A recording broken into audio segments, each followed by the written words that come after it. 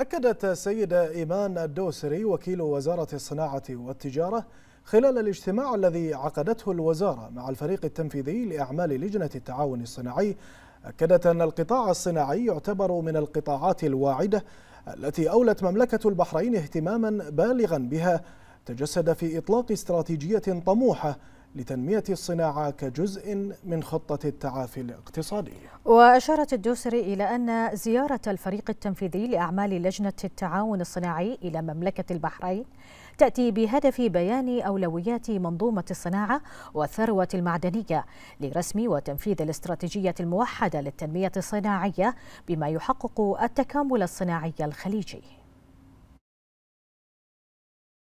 في إطار حرصها على تنمية القطاع الصناعي عقدت وزارة الصناعة والتجارة اجتماعا مع الفريق التنفيذي لأعمال لجنة التعاون الصناعي بهدف تحديد أولويات المنظومة الصناعية الخليجية والمبادرات التي من شأنها تحقيق التكامل الصناعي بين دول الخليج العربية.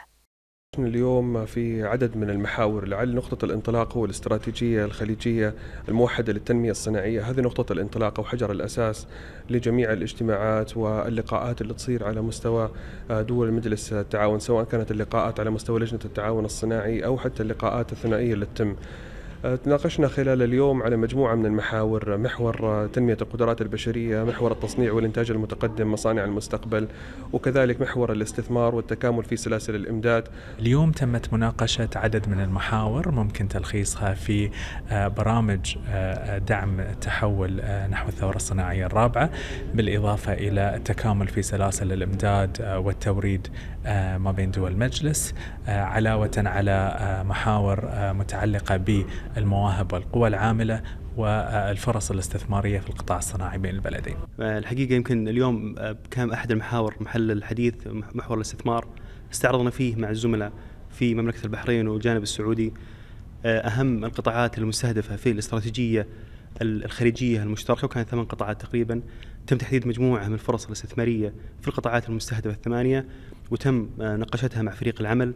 الحقيقة الجانب البحريني كان منفتح جدا على الفرص الاستثماريه الموجودة والفريق السعودي قررنا إنه فيه مبادرة قسمنا العمل إلى يمكن مبادرات معينة يتم التعاون عليها خلال الفترة القادمة وبرضه فرص استثماريه سواء كانت على الجانب الحكومي أو حتى على جانب القطاع الخاص.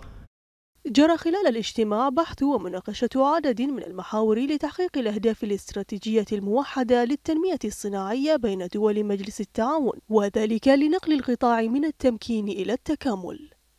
عرضنا اليوم ويا نظرائنا في المملكة العربية السعودية كان لأجل التكامل.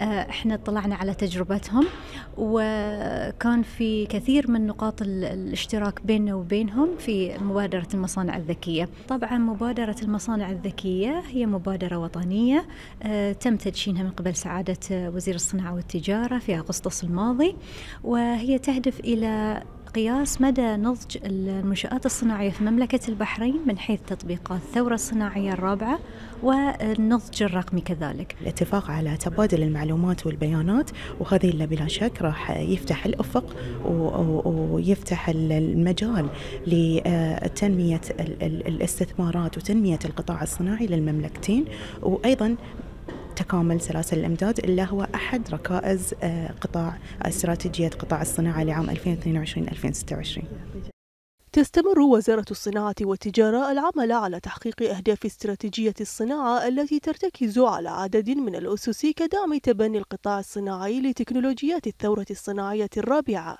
بالإضافة إلى دعم الاستثمار في البنية التحتية التكنولوجية ورقمنة التصنيع وتعزيز مفاهيم الاقتصاد الدائري للكربون. وتشجيع القطاع لتبني الحوكمة البيئية والاجتماعية وزيادة كفاءة سلاسل الإمداد والتوريد عبر تحقيق التكامل الصناعي.